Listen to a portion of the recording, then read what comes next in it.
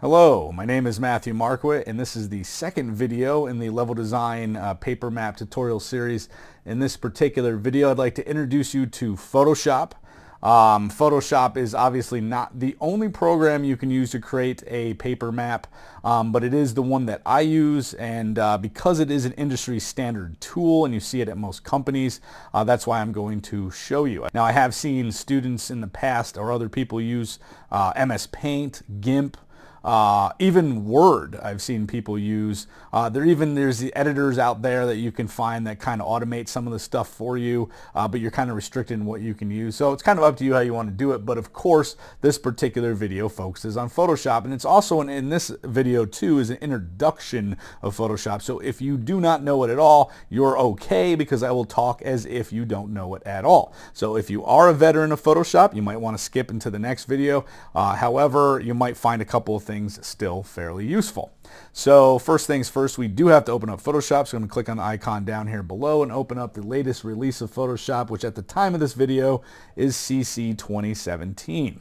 Now this is your basic load up window. I'm not a huge fan of this new style window. I like to get straight into it. So we can click on here and go to Essentials right? And this is our workspace. If you want to make sure that it always loads up in Essentials and doesn't do uh, that workspace there that we saw, we can go to Edit, preferences and general and then we can choose right here where it says show uh, start workspace we can shut that off and then hit OK and next time I load up Photoshop it will look like this now this is not the default essentials. I've actually changed it a little bit. I'm going to reset it real quick. So we'll reset. The default just has this libraries over here on the side. Um, and we'll I'll talk about all that in a moment. Now in general, I want you to see the layout of Photoshop and how it works. So just like most programs, you have your drop-down menu, right? And within the drop-down menu, if something happens to have a hotkey, you'll actually see it loaded up. So, you know, on the side here, so Alt-Control-C is to change the canvas size, right? Which we'll actually get to a little bit later. Um, so if you ever forget a hotkey, you can always re-find it again here in the drop-down menu. Now we have our toolbar on the side, and on toolbar, if you actually hover over an item for a few seconds, it will show you what it is, in this case, the move tool. Uh, that's kind of cool, so if you kind of forget some items, you can hover over it and it will give you a little bit of a description of what it is, and also the hotkey. If you click the arrow here, you can compact it into two layers. This is actually a very old school Photoshop thing. If you've used Photoshop for long enough, you know about that and how it used to look like that, and they've changed it to a single row, but I prefer the new single row. And then of course you have your workspace here and you can change other workspaces. So I had, you know, this is something different before. I click on this and there's like 3D workspace, a graphic and web workspace, you know, so on and so forth. And I'm actually going to switch it back to essentials. Now, here's the thing about the workspace is that you can move it around, so we can grab our arrow and kind of uh, shrink it or move it around. And this is important, of course, if you need more real estate to see stuff. Like libraries I don't use, so I usually pull this off, shut off the tab, right? If I ever want it again, it's not lost forever. We can just click on Windows and come down here to libraries and turn it on, or any other of these options, right? Um, but we can move things around. We can switch, right? So I can move color to this side or swatches this kind of color and so on and so forth. Um, there's lots of different things that you can do. You can pull them off as separate tabs and move them somewhere else. So you have a dual monitor, an ultra wide. You can kind of move things off to the side any way that you want. Now, if you happen to like this layout and you want to save it, you can come over here and go uh, new workspace and it will save it and you call it whatever you want. It'll load up over here. However, if you just want to reset it back to the initial workspace, in this case of essentials, you can just hit reset essentials, reset everything again. Um, once again, I can pull off libraries and get rid of that because this is the way I prefer it. Okay, so that in general is your basic user interface. So now that we know what you, um, Photoshop looks like, now we got to create something or open something up. Now your hotkeys, if you go to File up here, the two hotkeys to open or uh, start something new are Control N for a new file and Control O for opening a file. Now I'm not going to open a file, we're going to create a new one, so we can click on this or you can just hit Control N and this dialog pops up, a little different in this version of Photoshop than I've ever seen before. Now I've already used Photoshop, so there are some differences uh, that are not uh, default. One of them here is the default is set to, instead of pixels, it's set to inches. So you can click on this drop down and set it to pixels because as long as we are actually doing uh, content that stays on a computer screen and doesn't leave the screen at all, then we're going to want to leave it at pixels. If we're going to print, sure, you know, you can change it to something else for printing purposes, but pixels is perfect when you're trying to create a document document. Now, there's no right size to start at. However, you usually want to start at a very large size. So we're going to change our width here, and we're going to leave it in a landscape mode as opposed to a portrait mode, basically meaning it's wider uh, than it is tall. So we're going to type in 3,000 pixels here by 2000. Now this isn't to say that this is the document size you always want to use. It's a good place to start. If you want to try something else, you want to make it way bigger, you and have because the level's massive, then that's fine too, right? But we're just going to leave it at this for now. Resolution is set to 72 dots per inch, okay, or in this case pixels per inch. Okay, if you want to print it as a poster, 150 would be fine. 300 DPI is for something that you hold up to your face and read. Uh, but we're going to leave it at 72 because once again, it's staying on the computer screen. We're not worrying about printing it. Color mode, same thing. If you want to print it, you can choose something different, CMYK, whatever. Otherwise, leave it RGB if it's staying on the computer screen. Uh, the rest of the stuff really doesn't matter. You can change the color of what the background is. Default, we're just going to leave it white, but you can choose something different, right, or whatever. Uh, but once you have all that stuff done, you can just hit create, and it'll create our document that is 3,000 pixels wide and 2,000 pixels tall. Now, if any given point you wanted to create, and I'm actually going to real quick uh, create a circle here in the middle just so I can show you a difference uh, between uh, a couple of different things. Let's just, just to say we want to change the size of this image, right? We need more real estate after we started working in it. Well, you can go up to edit and go, and, and actually, sorry, image, and go image size to change something, but the problem is, let's say we want to make it even taller, right? So maybe we'll do 3,500 pixels. And this actually, by the way, will increase the whole thing, scale it up um, if you have the lock on, if I actually, let me just cancel that real quick and we'll do this again. So if I go to image, image size, and I shut off the lock so it doesn't lock this, so it doesn't keep its proportions, and I actually make it way taller than it is wider, so we'll go 3,500, and I hit OK, notice what happens to the circle when it's done. So it's thinking, because it's a fairly large image, well now it's stretched the circle. So if you've actually done any work in the scene, yeah, you can change the image size, but it's going to stretch it if you unlock it, and if you do lock it and increase the size and you're not using vector, which is something we'll talk about in the next video, uh, or next couple of videos I should say, then you're going to have an issue with things that's not looking right when they scale up. Okay, so you typically want, instead of using image size, we're going to go over here and we'll go image and do canvas size. Cool thing about canvas size is now I can say add that extra height and go 3,500 here right? And then you can change where it loads up, right? So I can have it only, you know, add all the pixels up here and this stays at the bottom or whatever by moving this thing around, right? But we're just going to leave it the default so that it adds the extra um, pixels, 1,500 pixels are basically uh, 750 or so like up here and down here at the same time. And then we uh, hit OK here and you'll see, boom, now we've increased the size of our image in that sense. Okay, so that is uh, basically how you can rescale it after you've created an image. don't ever feel like, oh man, I already started the image. I can't do anything with it. Well, yeah, if you don't know exactly the size, you can always change it later. Now, navigating with an image, I'm going to turn this uh, circle back on so it makes more sense, but navigating within an image is pretty simple. You hold down Alt and use the middle mouse wheel, like scrolling in and out, and you can zoom in and out. And once you're zoomed in, if you hold spacebar, you can pan right? So you can see right here that I can kind of pan around holding down a space bar. Now there are the same tools over here where you can do it using a tool to zoom in and out and this is the tool to pan around but obviously if I'm already in a tool say a paintbrush and I don't want to switch out of my tool then I can right? Just hold down the Alt key and use middle mouse wheel and uh, spacebar to pan around and still keep that tool without having to constantly switch back and forth on the side.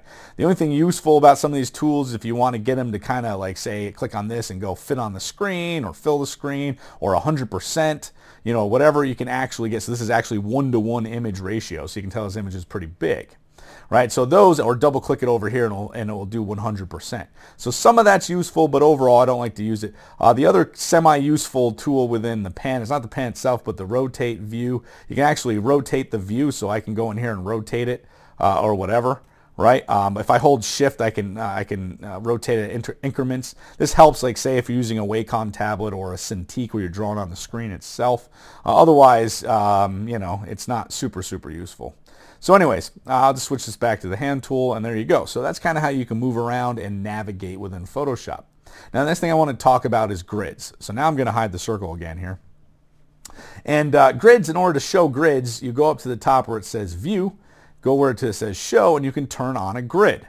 And once you turn the grid on, you'll see, of course, a grid. In this case, it is a grid um, that, um, that has uh, four subdivisions within it and whatever. But we can change the grid, like how often the boxes show up, how many subdivisions are in there. Now, by default, you actually don't have this on either. This is actually called rulers. So you can go up to view, and if you're not seeing that, which you shouldn't by default, right, Control R is actually the hotkey to turn your rulers on and off right? And you can actually see that if I right click on this, I can change the rulers to something different. In this case, I do have it set to pixels. Yours by default will be inches, even if you started the image by pixels. So maybe you switch it to pixels so it makes more sense, right? So we know how many pixels we're moving across, but it's up to you. You can have it measure inches or anything else. And you see it's both on the top and on the bottom. The other, uh, the other cool thing about the ruler system, right, is you actually pull out guidelines from this. So I, if I click on, the, on one of these rulers, hold my mouse down and drag it in the scene, I can drag in a guideline. Now right now, because I have my snap set on, it's snapping to the current grid. So if I want to put it anywhere, of course, I have to go up to the view here. We can go down and show and shut off grid. And now if I kind of move my, you can see these, these uh, points here can go anywhere. And these will also be snapped to. So if you have layers or you have anything else, you can snap things to those guides and it helps you work. Um, now, if you pull out a grid point and you want it to go the other direction, you can hold down um, Alt and it will change it the other direction or let go of it and it'll go back to the initial direction. Or of course you can just pull it from the top and it'll do a horizontal one instead. Right, so these can be pulled in and out. If you want to get rid of them, uh, you can either just stop showing them. So if we actually go up to the top where it says view, we can do show. and We can have it not show guides, so the guides are hidden, right? Or we can turn them back on come over here and make sure that our guides are um, are still being shown. You can drag out, and once I drag a new guide, you can see it pops up and shows all the other ones. But let's just say we want to get rid of them. I'm going to switch to the Move tool here. If you want to get rid of them, you can just click on a guide and drag it back into the ruler, and uh, these guides will uh, disappear. Okay? So there's other ways. You can place guides in very specific places. You kind of hover them, and when it gets to the middle of the document, it will snap. You'll see like kind of popping. That's actually it snapping in the direct middle. So if you want uh, to do that, that's a quick way to have it snap in the direct middle. And you can also do that with the version coming up on here for the other direction. So we can get an exact perfect cut down the middle of the document in both directions. So like, so we have four different workspaces Okay, so that's one thing you can do as I showed you before already, the grids. But how do we change some of the stuff? Like how do we change the grid? How do we change how often it repeats? Maybe even the color. Um, I'm actually going to turn grids back on. So we'll go to view here and we'll do show grids. And um, in order to change it, I'm going to zoom in. But in order to change it, we're going to go up here to uh, edit preferences and we're going to choose in this particular case um, guides, grids, and slices. So you can choose any of these. I've already showed you guys preferences, but you can come in here, even units and rulers, right, where I just showed you. You can switch it instead of right-clicking up here. I can switch this to whatever I want, you know, and so on. Um, but as far as the guides, grids, and slices go, uh, here's your grid, and this is the color it defaults at, which is black. If you want to change it to, say, blue, you can change it to blue or green or whatever, right? I'm just going to leave it at black. Okay, and then also your grid line will say, right, how many every four inches. So even if it is showing pixels, it will still be every four inches in which a grid line shows up. If I want to say maybe every 100 and set this to pixels, every 100 pixels, now we'll have that black line at every 100 pixels. And then the subdivisions are four. So that would be basically 20, every 25 pixels are these. So if you want to say you want it to be five, so now it's every 20 pixels and so on. So it's up to you how you want to do the grid, how precise you want to get, but that will help you create. Now this, of course, is not actually in the document. So you can shut this off at any time. It just helps you create your document uh, as far as that goes. Now let's quickly talk about uh, brushes and uh, some other stuff before we end the video. And um, let me go over here, and this is your brush tool. And so if you want to paint something, um, typically we're going to talk about layers a little bit more in the next video, but you never want to paint on the background layer, right, or on a, on a, on a different layer. We're going to actually start a new layer by clicking on this button over here.